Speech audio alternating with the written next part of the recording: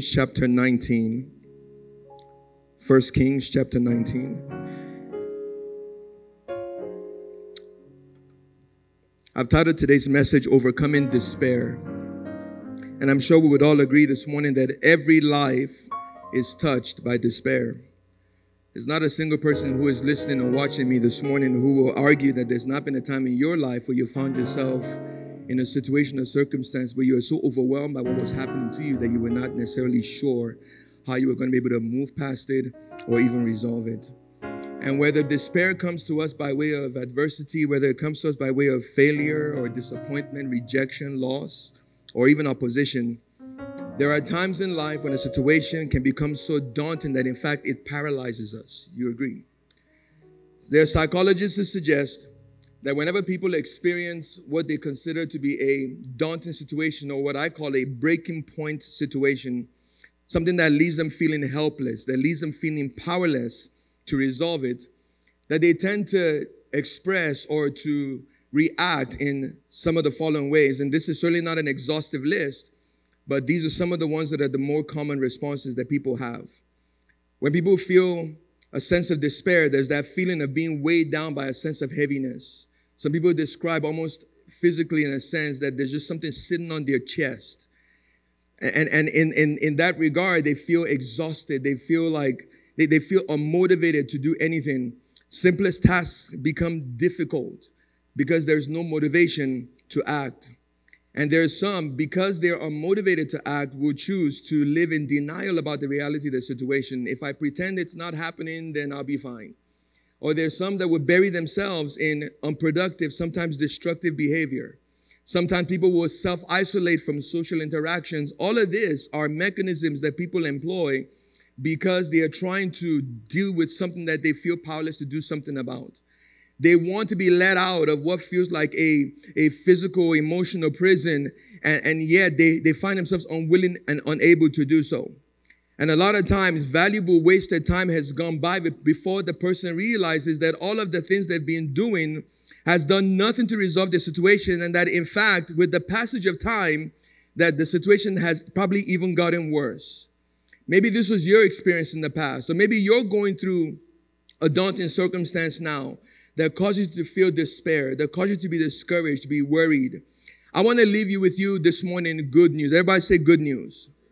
The good news is this that while you and I may think that no one can fully understand what we are going through, while, while we, we may feel that people may not understand or relate to our experience, we can be confident this morning that Almighty God understands our struggle and that He is above all else able to minister to you and I in our place and point of need so that even what appears for the moment to be daunting, to be impossible, can become an opportunity for our faith and our dependence on Him to be strengthened. In the Old Testament book of 1 Kings, chapter 19, we read the story about a prophet of God named Elijah. Elijah, the Bible says, reached a point of overwhelming despair, a breaking point moment in his life after he experienced a spiritual high point, not only for himself, but for an entire nation. Now, when you look in the preceding chapter, chapter 18, we read about a dramatic showdown that took place between Elijah, who was representing God, Jehovah, and on the other side, 450 no name prophets who worshiped an idol named Baal.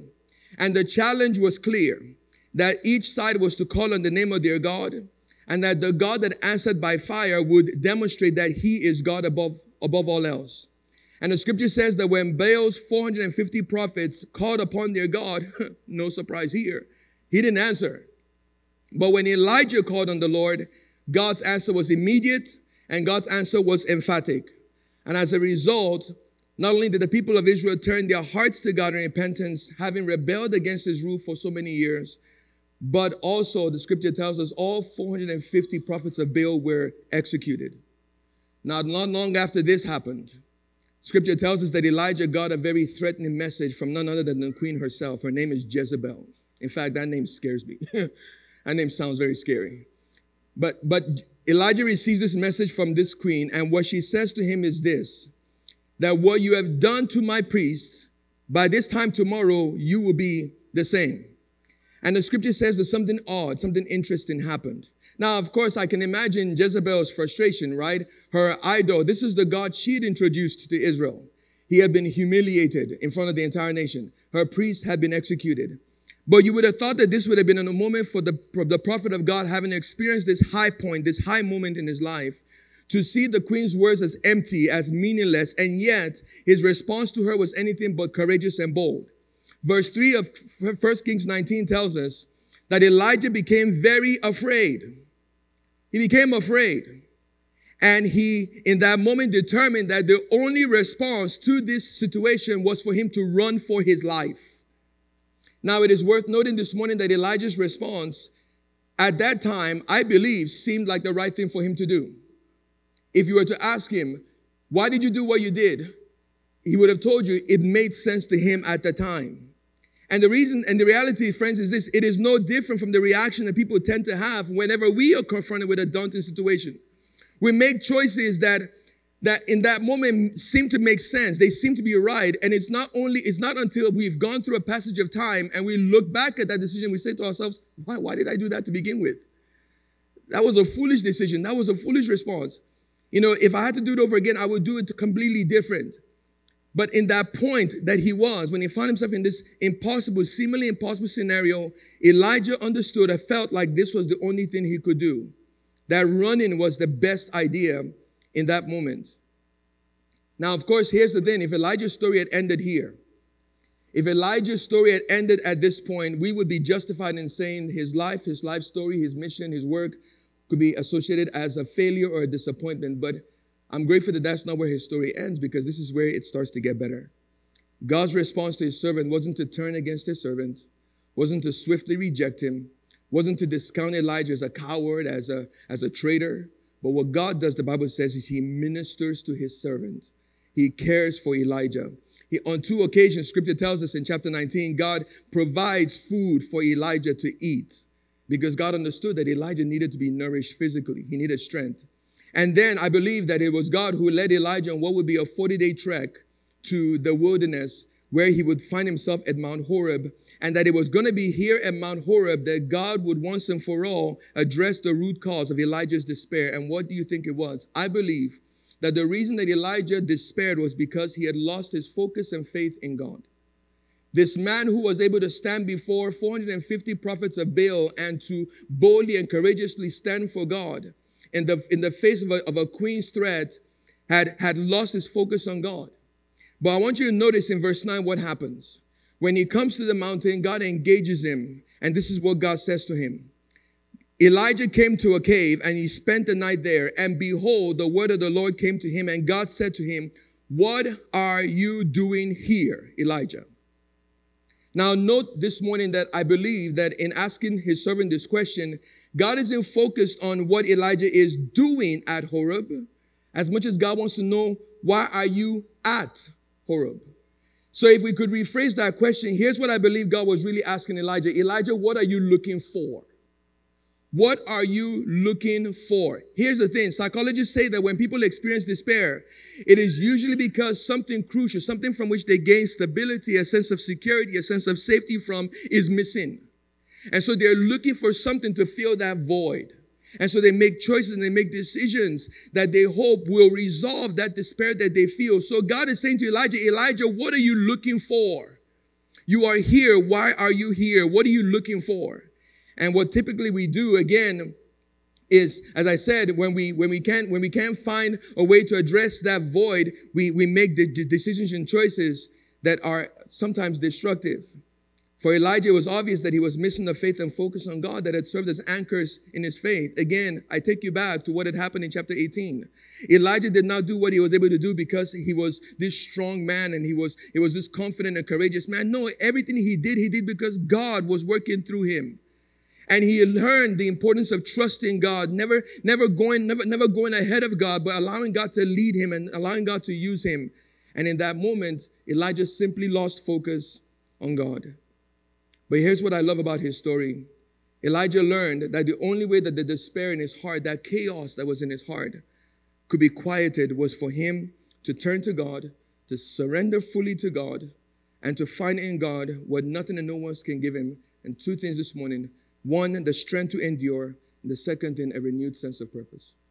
Elijah needed strength to endure, and he needed purpose, a renewed sense of purpose. If there's one thing that I hope you will take away from today's message, I pray it's going to be this that no matter what you're experiencing, even now, that you may feel like it's causing you worry, anxiety, stress, you, you feel powerless to do something about, if you and I will choose the route of trusting God, we'll choose the route of surrendering fully to Him, that I believe that in doing so, God will give us the renewed strength that we need, the renewed sense of purpose that we need so we can continue to carry on. The presence of struggle, the presence of adversity does not mean that your life is over. It does not mean that God's purpose for you is finished. God's desire is for us to look to Him, to call on Him, and to trust that He will give us what we need.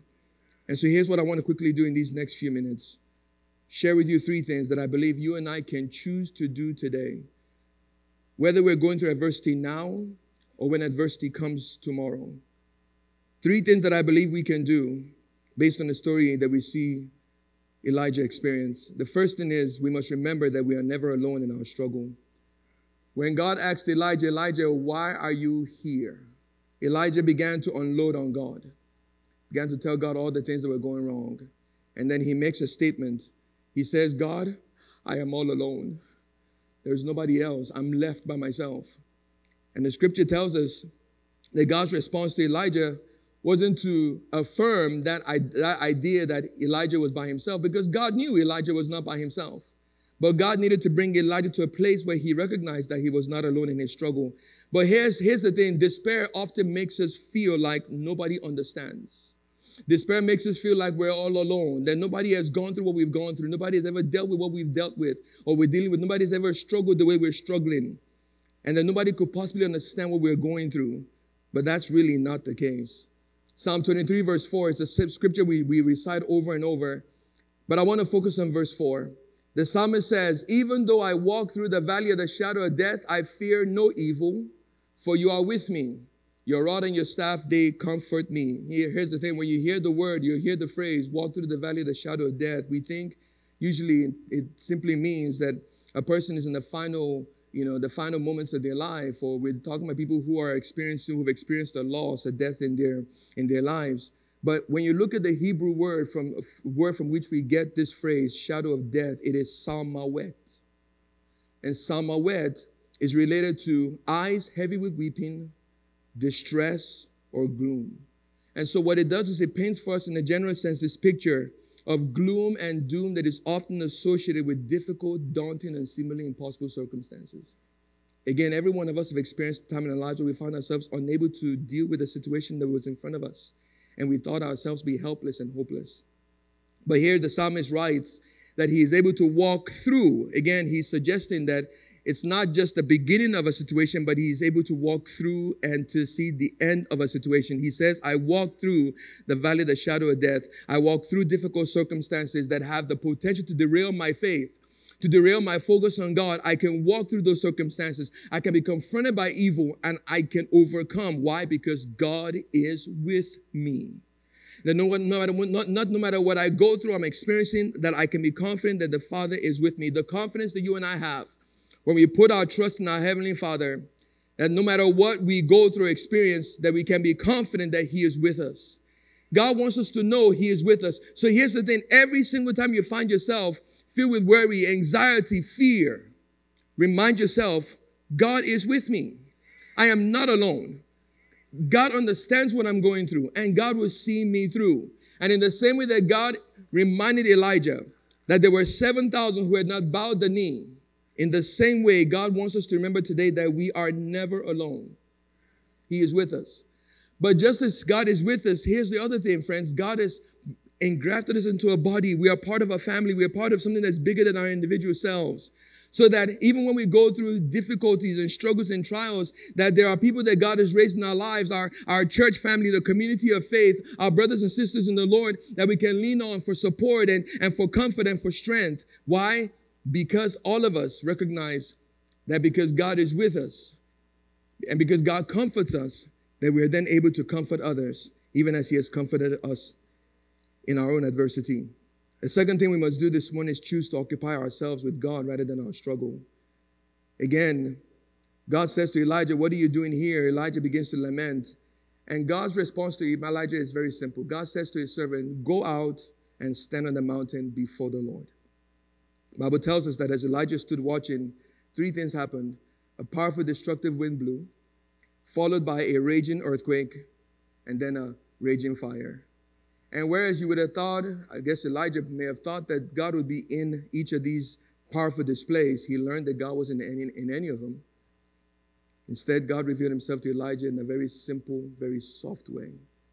Scripture says God spoke in a gentle whisper. Some translations use the phrase a gentle breeze.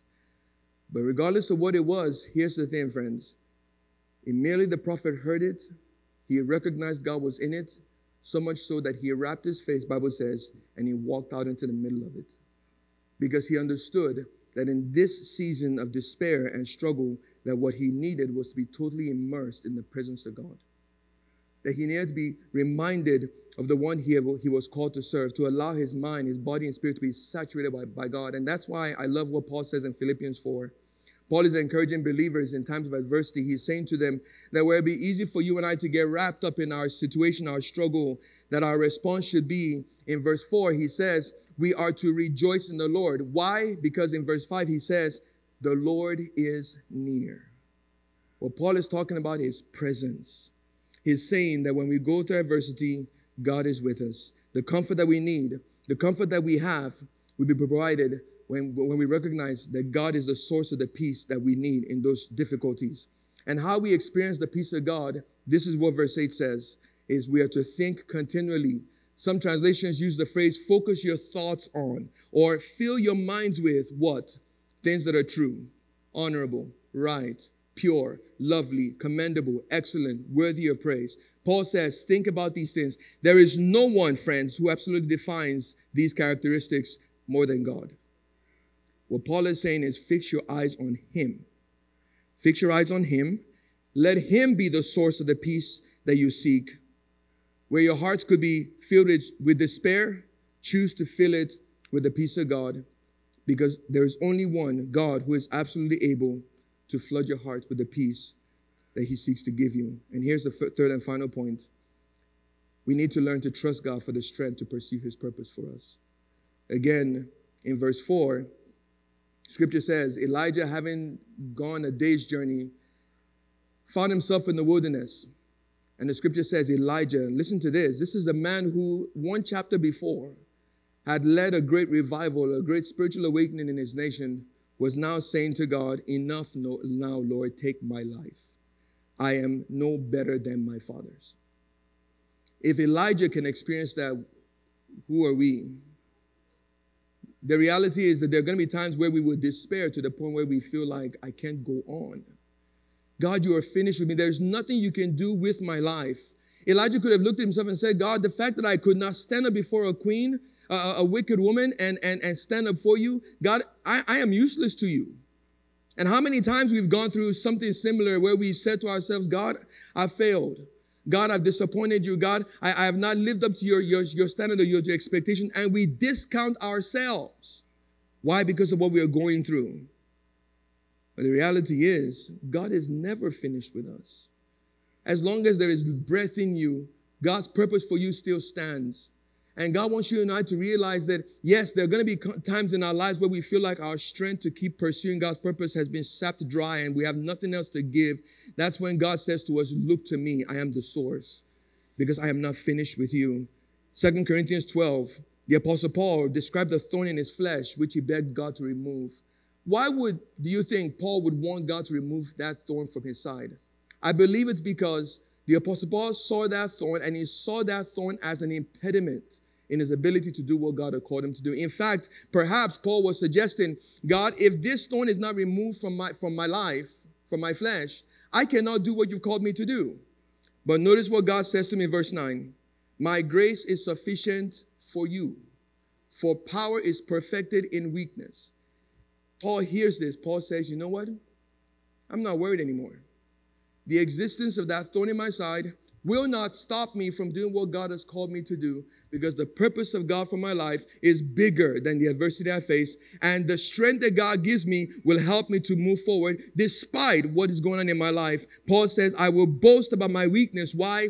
Because the power of Christ dwells in me. When the world looks at you, friends, no matter what you're dealing with, you're going through, you're struggling with, and they see you still walking with purpose, walk, walking with zeal, walking with joy, in spite of all the negatives that may be going on in your life, and they wonder why, where are you even having the energy to do what you're doing, that you can point them to God and say, He gives me purpose.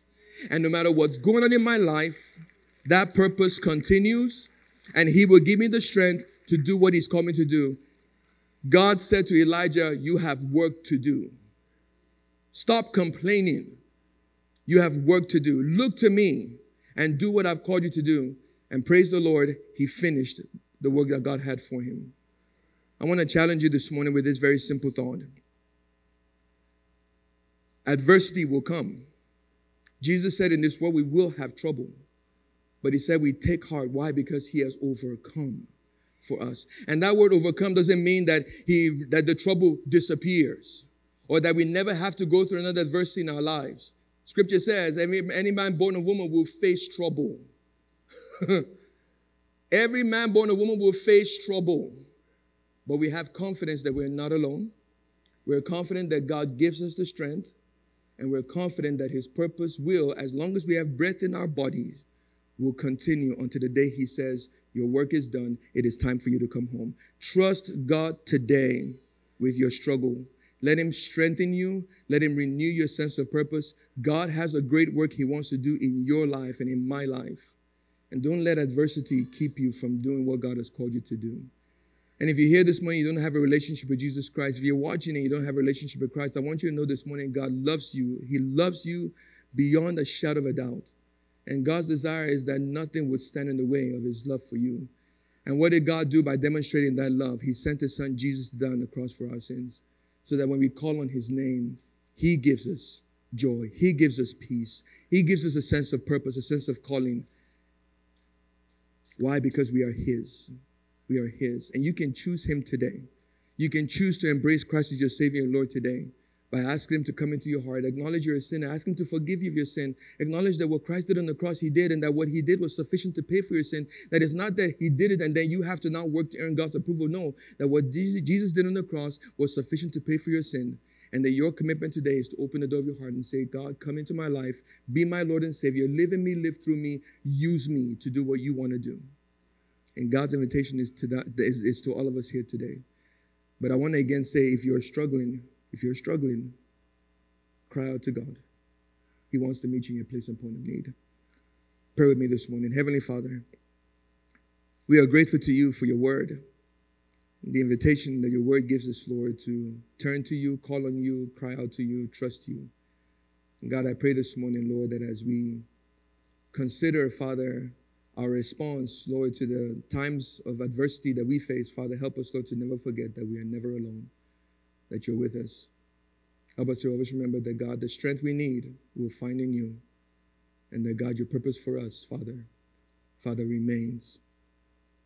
That, God, you who call, that, God, you will equip and enable us to do everything we need to do so we can accomplish the work you've set before us. And, God, for anyone that is here today who does not know Jesus as, as their personal Savior and Lord, I truly believe that even now that there are those who are calling on you, God, because they recognize I need you, God. I cannot live without you, God. Have your way in me today.